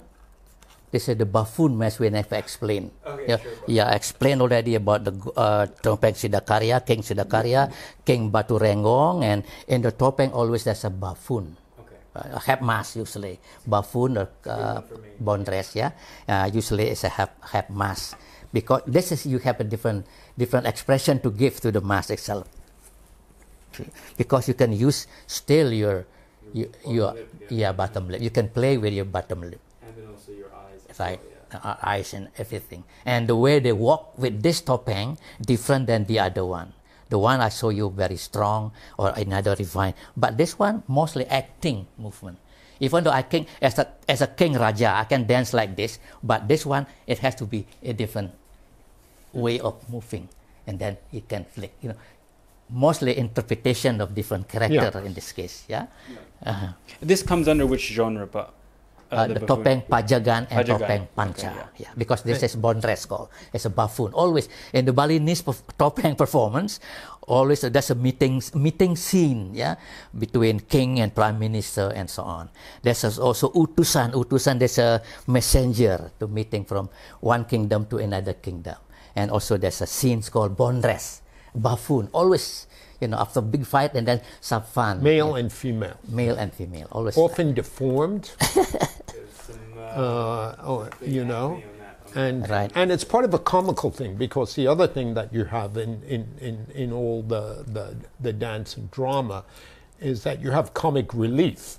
Always Right, like that. because you don't you don't just have these big serious lofty you know a, a lofty story you have these clowns that d- d- engage in sh- uh, slapstick they also often find out information gossip in the village or wherever they're performing and they were they they channel a sort of social criticism at the time Yeah. too they wouldn't directly say bad things about people but they would in a in a way that the audience would know oh he's talking about that that you know that guy or something Yeah, like- there, like- therefore the like topeng or Arja or gambuh call living theater. Yeah, Yeah, they, you yeah. know, living theater. They pick up something from around, you know, the villages for and they can be comics and very everything. bawdy and naughty as well, Yeah. as well because the Balinese love, you know, uh, love being uh, talking about naughty things. Yeah, tongue in You cheek know, and Yeah, all tongue, sort of tongue in all a cheek, tongue in slapstick, cheek, you know. slapstick joke, right? Yeah. Yeah, Something they like have all that. kinds yeah. of double entendre and, and, and, and Therefore, you know, back on history of this kind of barong dance drama, we don't speak about Cholonarang yet. The Cholonarang, we're using the Raksasa. Raksasa is the Rangda, exactly, yeah? So the Sarang is a black magic story uh, written or founded in East Java, but now they brought it to Bali. The Balinese people like it because it has black magic, content of black magic. Yeah. Therefore, then later on, there's a, a story of Cholonarang. They put as a play uh, with Barong and Rangda to show the dualistic concept, good and evil, usually like that. But Rangda itself in the village is also as a goddess. God Durga, yeah, God Durga or Bhairavi is a part of the god, wife of Si- uh, wife of Siwa also, right? But in the play they use uh, Calonarang and Barong like a you know contradicting character in this case. So Symbolism of two different yeah, sides. that's right. But the idea harmony. again also. the two sides of Side. the of the of the, Yeah. the the polar sides of the universe. So speaking about Right. this Calonarang play as a total theater that Pak Bruce already mentioned, right? Total theater mean the Balinese theater not only the dramatic content or dialogue, but also costume, mask, the music, the sound, everything in uh, you know everything is included in that one. When uh, somebody, when a dramatic, when a what do you call that, uh, uh, theater person, uh, in- Performer? uh, yeah, performance. Uh, dra- Bintang Film also. yeah, Uh, there's- they have stars. yeah, they're famous. I- I'm Yeah, talking about of- the Celenarang sent to Paris in 1931. There was a Celenarang play uh, for the expo in, pa- in Paris in 1931. They brought the Celenarang play and Janger and Legong. Uh, this Celenarang impressed yeah, someone, a theater person, is known as Antona Artaud in Paris. Antona Artaud, uh, you know, after seeing the uh, the Balinese play, the total theater, the Celenarang and so on, he changed. Yeah, he changed. It had a profound effect on him. He, Yeah, he wrote he wrote a number of essays. One of them was called. He was a visionary uh, theater theater, Theater person, uh, yeah. you know Director. Mm-hmm. and one of it was called Théâtre et son double, theater and its double. With the whole idea cruelty. is that the double of theater is life. So- and, and that you know, and he bemoaned the fact that European theater had gone into this sort of social, social sort of uh, psychological, and it lost the magic of the, of the ancient Greek oracle theaters and things like that. And he wished to return it. And then when he saw this performance of, of Balinese dancers mm-hmm. who were brought to the Paris Colonial Exposition in 1931 there. He was electrified because he had never seen anything like that. He wrote a beautiful essay about it called Le Théâtre mm-hmm. Balinese, the Bal- Bal- Balinese theater. So then he created like a new, contin- apa, new uh, experimental theater, and this now become a, uh, uh, become a, a source of in- experimental theater in America, as far as also in Indonesia. We, we Yeah. have people like Rendra and Putu Wijaya, then coming back to study about this concept, yeah, Yeah, concept of he- the experimental theater. But we, it came really from the Chalonara play, the show by by the Antonin Artaud in Paris during that time. Bal- Balinese uh, mass dance and theater had, uh, and music as well had very profound impact Influence. on on on uh, you know uh, the Western Western artists, you know, underground artists already in the 1920s and 30s, and continued on like Colin McPhee. Uh, Canadian composer who lived here for many years, wrote several several uh, pieces which were based on uh, uh, Balinese theater. Walter Spies, the famous painter, he was actually more more of a musician than he was a painter. Painting was a kind of sideline. He retuned uh, his piano so that he could play along and that, that he could write down the different melodies. Under, trying to understand the inter, intricacies of, uh, And, of, of yeah, Balinese. Balinese music. And then in 1955, there was a professor from America. His name is Mantle Hood. He established the department called ethnomusicology department. Mental Mantle Hood was studying. Mantle Hood was studying in Europe first uh, through Yap Kun. Jaap Kunst, yeah. Yap Jaap Kunst, Kunst was, uh, he, uh, was the founder of ethnomusic psychology. ecology. yeah. yeah. And then Mantle Hood study in Java in 1953 after 1955. And then when he returned to America, he went to UCLA and established the uh, department called ethnomusicology. And they brought the Javanese gamelan and Balinese gamelan or Chinese gamelan or African musical ensemble to become part of the curriculum in ethnomusicology. So I was part of that too. Back Yeah, in he went to, 1968 uh, got his degree, one Yeah. of his uh, degrees at yeah, UCLA. UCLA. Uh, and of course, during my study there, I'm not only studying, but I was teaching Balinese gamelan and also teaching Balinese dance altogether. So, you know, there was the development of Balinese uh, gamelan dance in the world today. But I, I would like to talk about that sort of the teaching of, of Balinese mask dance or sort of performing arts. And how I noticed you've written before about Bandem that people are not taught in the same way. They don't have the proper training anymore when it comes to these classical sacred dances. What do you mean by that? What do you, what do you mean they don't have the proper training? And are you worried about sort of the authenticity of Balinese mask dance going into the future? No, I'm very open because the concept in Balinese tradition, when you're trying to preserve the culture, uh, we have a word, it's called continuity and change. Continuity and change. We classified our dancing, including mass already, in three uh, categories. And one is called wali dancing. Wali is a sacred dancing, a temple dancing. It's a trance medium, right?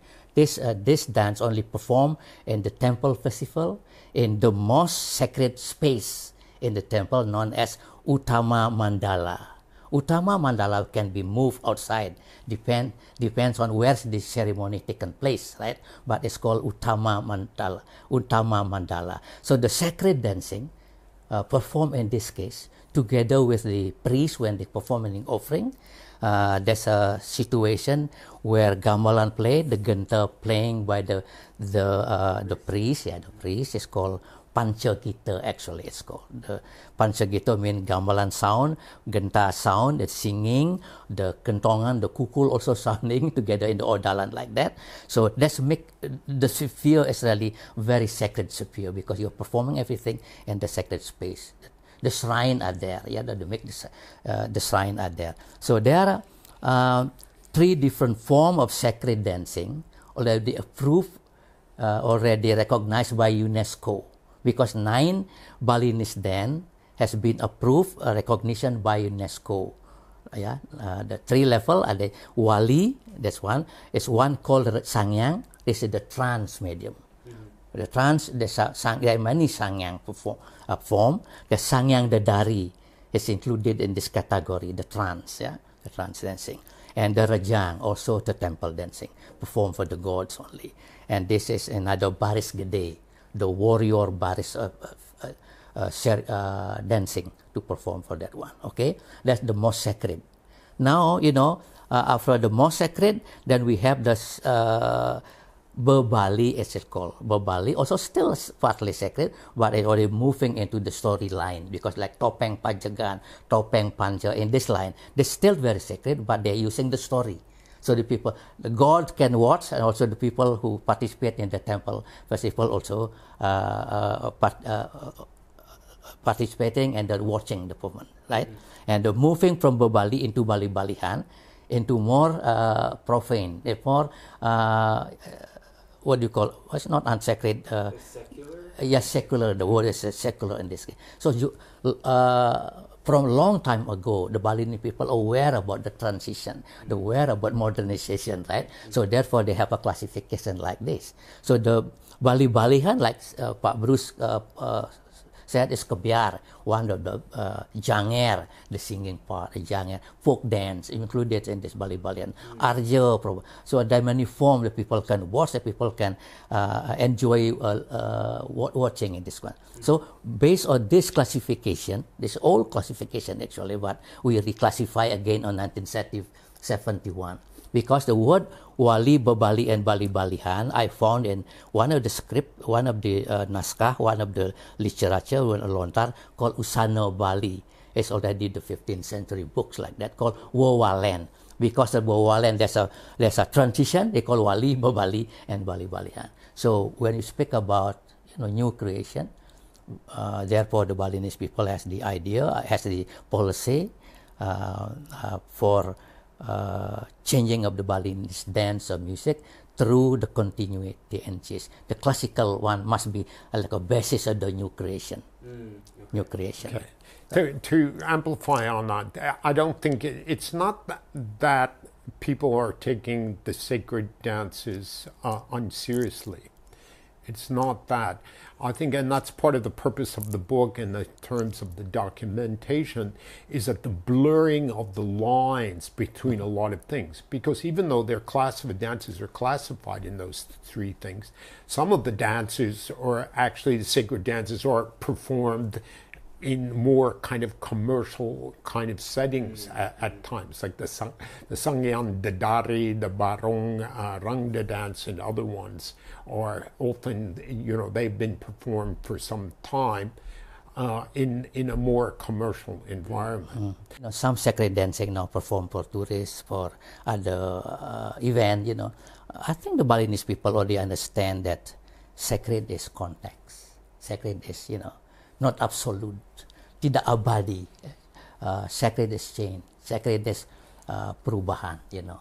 It's like that. So, but still, for the government, for the people of Bali, they don't want to have the sacred dancing blindly performed for tourists. Like Yeah. a certain form, yes, already they transform into a new form for uh, you know tourist uh, performances like like Barong Kunti Sraya. Yeah, exactly. Barong Kunti Sraya. There's a Barong cat dancing. Sorry to say that Barong Kunti Sraya is called Barong and Kris Dance now that perform in Batu Bulan, in Kesiman, in Denpasar, created by my father for the tourist attraction in 1948 together with Oka Tublen, the mask maker of Singapadu, and also Dibia's father is topeng dancer. The three of them to create the new form of uh, barong for tourist performance for a wisatawan. At the beginning of the performance, still trance involved. Yeah, well, that's part of it. Yeah, that's I, I, I sort of thing. Even though it's Yeah. you say, oh no, no, no, this is not the sacred dance, but they still do all the rituals and offerings that they do for the sacred dances. Yeah. you I- know, I- I just try- just in case. Yeah. I got Just trans. yeah. I got trans performing in Nardo, Italy to perform hobby horse dance because we did it uh, seriously. with a- Sanghyang jaran. Huh? Sanghyang jaran. Sanghyang Jara, Yeah. yeah, Yeah. Sanghyang Jara. I got trance, really trans. And you fell into trance. Yeah. yeah. Yeah. Wow. See, you know, all of the musicians and other dancers trance to go with me, you know, Yeah. because of the context of the performance, also a church there, a sacred space. Yeah. So.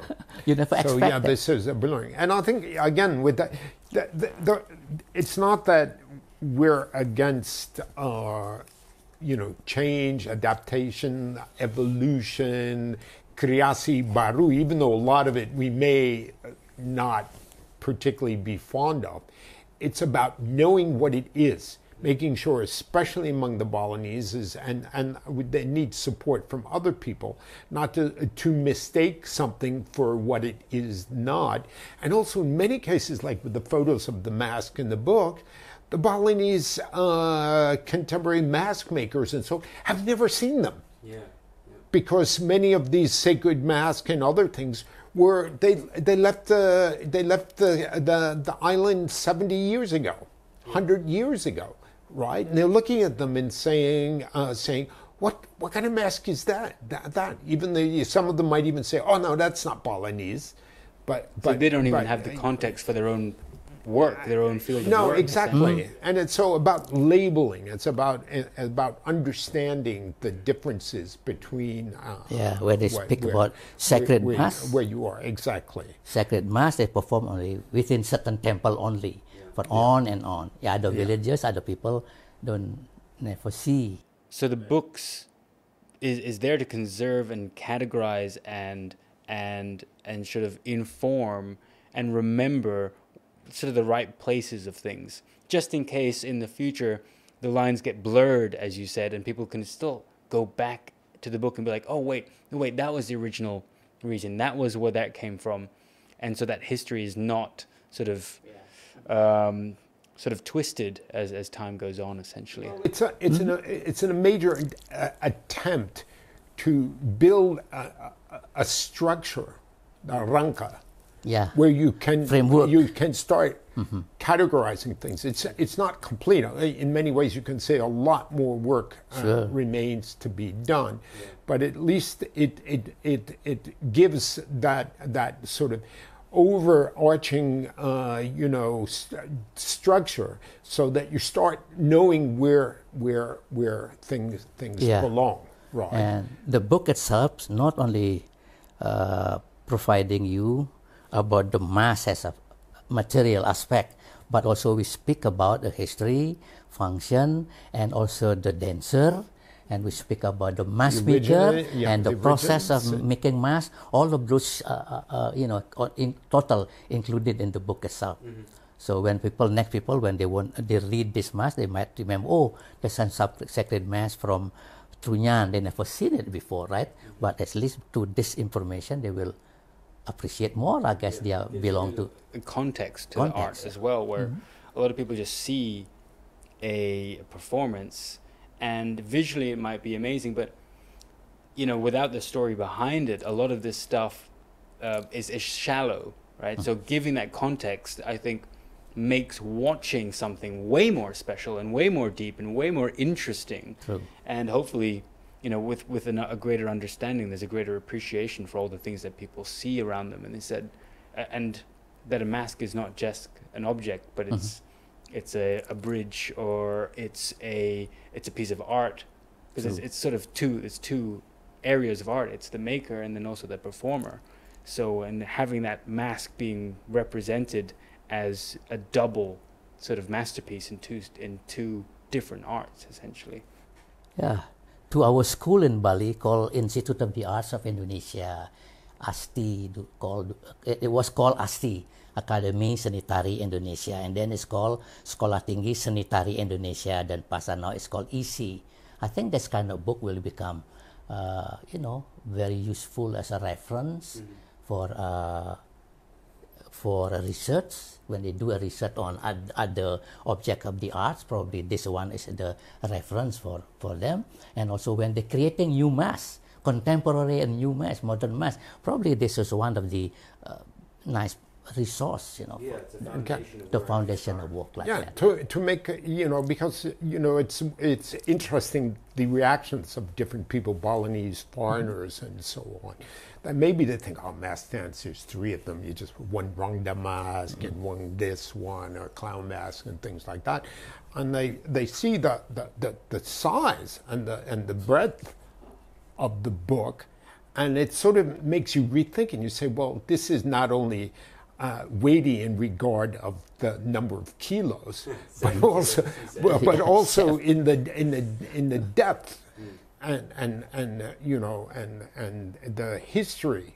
Well, it's And got so breadth and thi- depth, I would Yeah. say. I- I hope so. exactly. Yeah, yeah, that's- yeah, it's- exactly. it's Uh, making mu- master It's multi and uh, multi-dimensional, and that th- and that it deserves more attention. And this is only one of many things like this. Mm. There are many aspects of Indonesian traditional culture that have been overlooked or dealt with only in a superficial mm-hmm. fashion in, in in most of the islands. Mm-hmm.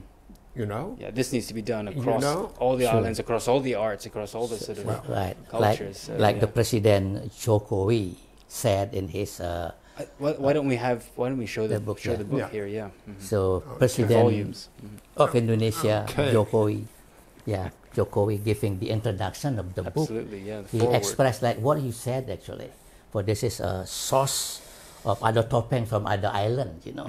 Then he was hoping scholars or academicians from other islands of Indonesia, Java, Bali, Kalimantan, write something book like a model like this when they speak about their own mass or other dance tradition. Yeah. Right? And a lot of it depends on patronage again. A book like this is not cheap to make, Of course. Yeah. right? And we didn't we didn't make we, we will never see a cent from it. We dedicated all our time absolutely without ever thinking about making money. It's just in terms of printing and all these other sort of things, the side expenses that that, that you get. Yeah. Right? This is four So- years of research, you know, exploration and Yeah. study, visiting museum everywhere in Indonesia, you know.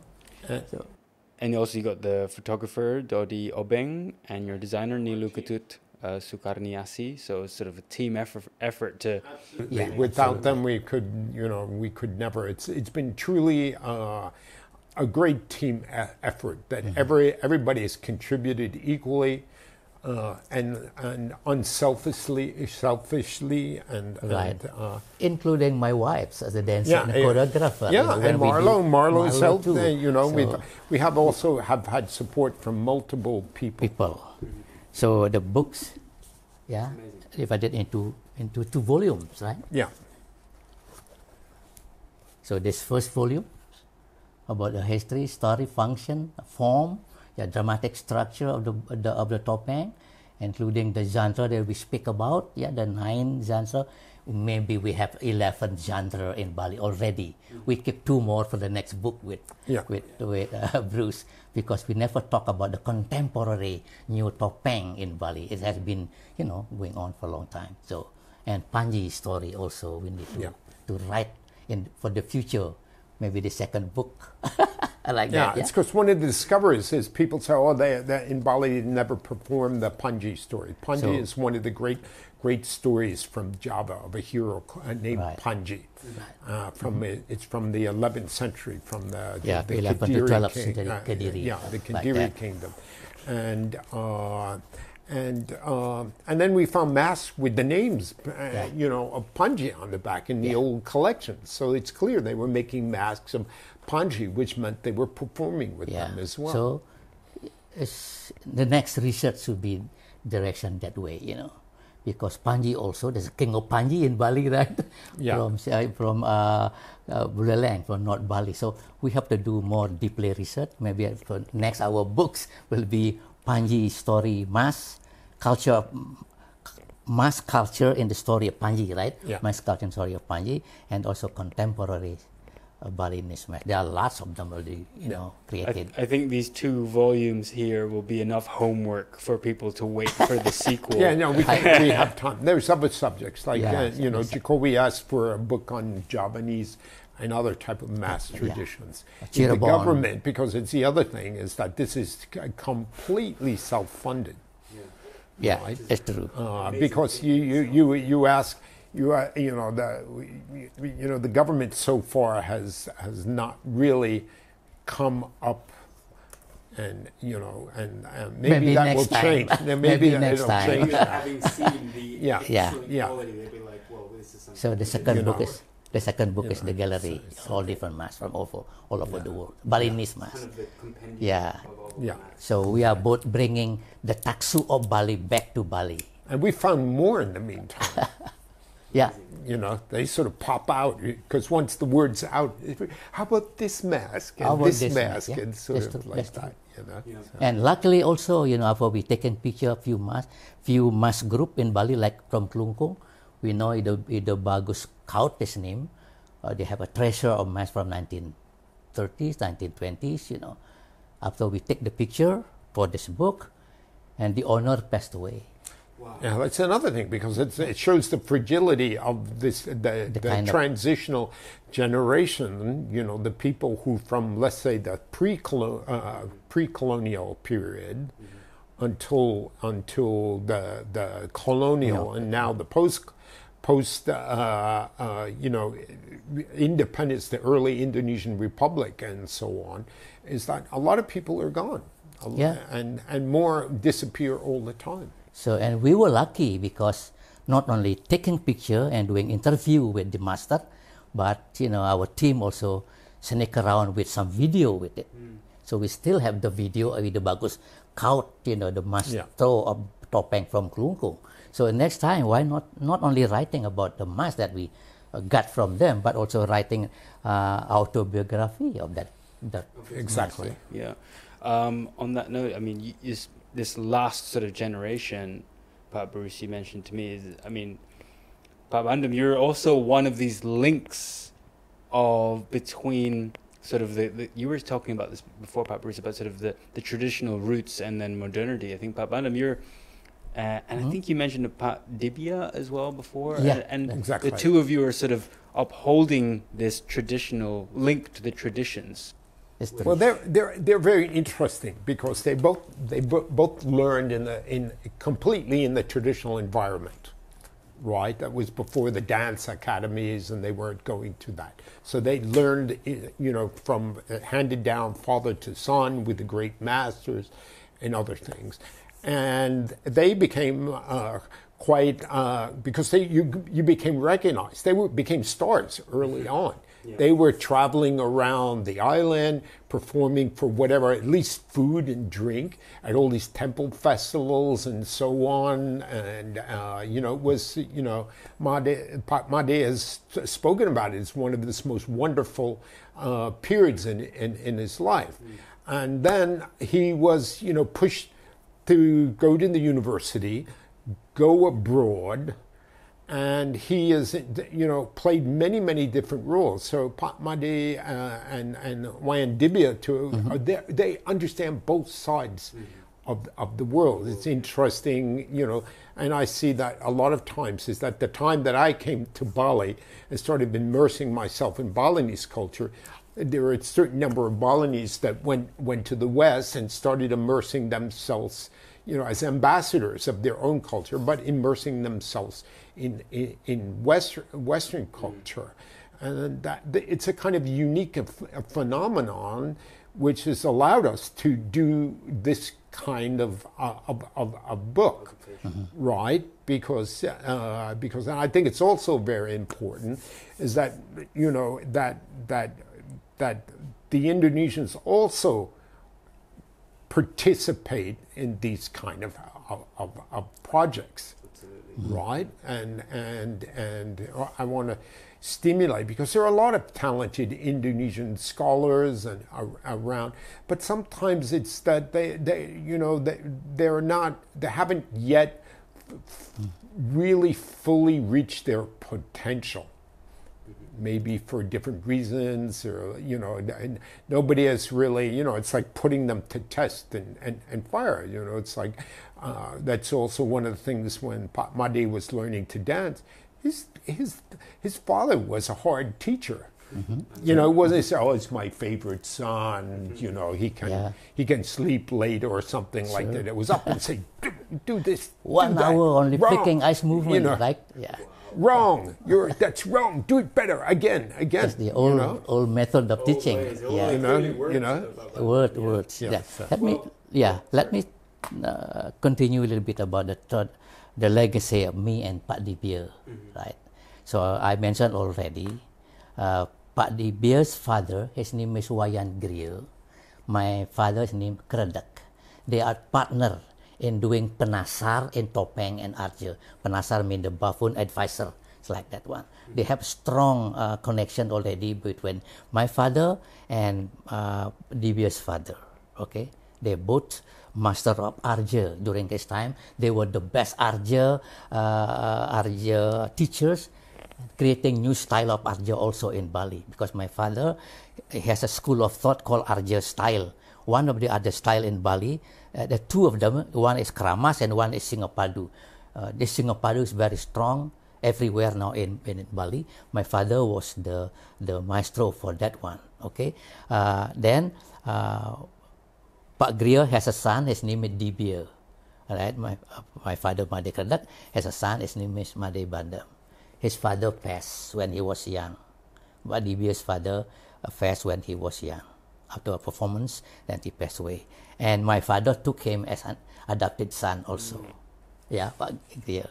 Uh, and then I continuing my study at the Conservatory Music and Dance in Bali. I became a teacher after three years at that school. I picked up Dibia to become a student over there too.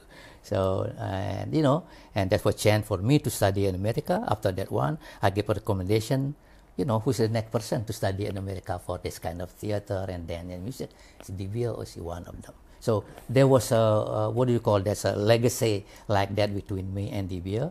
Uh, of course, Dibia is one of the maestro now, and mm-hmm. he's a professor also, teaching at the, the Institute of the Arts of Indonesia in Denpasar, even though he's retired now, but he's still very active in doing performances like that. Well, we're very lucky to have you both still teaching the younger generations and also to have you both to create such an amazing sort of compendium and collection of the masks of Bali. So thank you both for. I, we could talk for so long, and we've already gone more than expected. But I've still have I've only covered half the questions of where we could go. But for that, we'll just say please buy the book Masks of Bali Between Heaven and Hell by E. Made Bandam and Bruce Carpenter. So um, thank you both for being here. Thank you both for your really interesting, insightful discussion and explanations. It's super intriguing, and, I, am sure it'll uplift a lot of interest in the art. Thank you both. Thank you, Eddie, for having us over here. We love